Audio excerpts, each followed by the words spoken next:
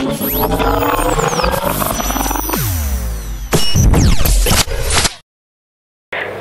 Bravo 1 Sierra Sierra GB1SS. This is GB1 SAN calling and standing by.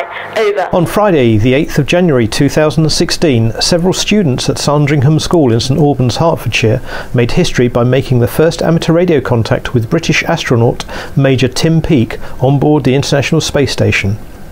During the short pass, Tim was just about able to answer five prepared questions from the students. Hello, Golf Bravo 1 Sierra Alpha November. This is Golf Bravo 1 Sierra Sierra on Charlie 6. I read you loud and clear. Over.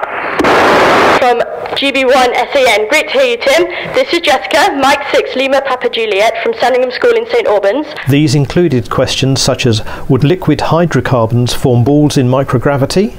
How do the astronauts study alloys on the space station? And how does a helium balloon behave on board the ISS? The equipment set up in the school hall used both a local dish and the famous Earth station at Goonhilly in Cornwall.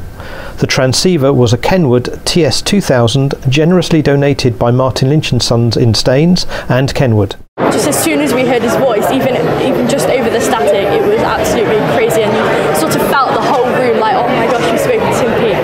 More information regarding ARISS, that's amateur radio on the International Space Station, can be found on their website.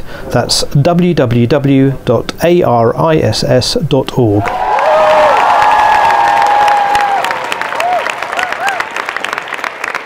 This is GB1 SAN handing back to GB1SS for a final. GB1 SAN clear.